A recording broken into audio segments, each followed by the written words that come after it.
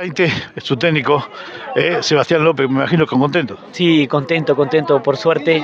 Este, los gurises salieron en el segundo tiempo con unas ganas impresionantes. No, lamentablemente en, la, en dos minutos nos metieron dos goles este, por distracción nuestra, pero tuvimos una buena charla y salieron a comerse la cancha.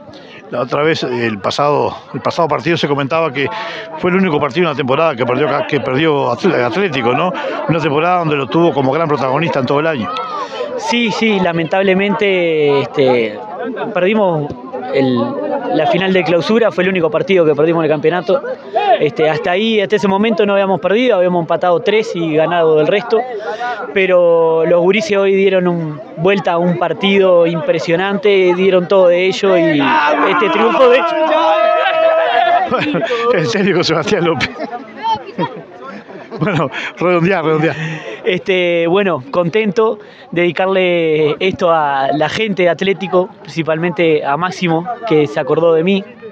Este, a mi familia, aparte de mi familia Luis Celeste, que la tengo en el cielo, que si no fuera por ella, yo no era hincha de Atlético y lo mamé de la cuna.